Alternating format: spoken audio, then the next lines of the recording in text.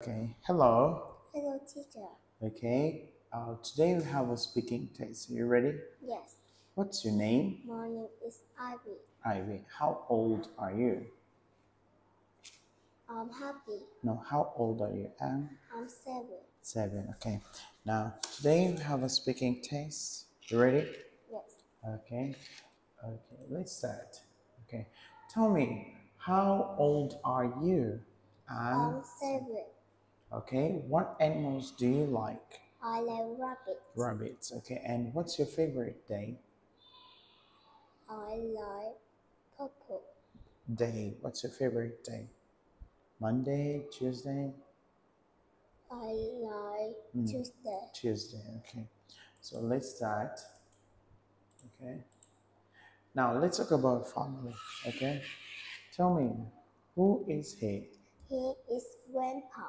and who is she She is grand. She is mom. and who is he?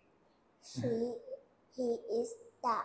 Very good. And who is she She is grandma. and who is he He is baby. and who is he He is brother. and who is she? She is sister. That's great. Okay. Next one. Tell me what's this Is a head. and what is this? It's a foot. It's a head. And what is this? It's a Leg. leg.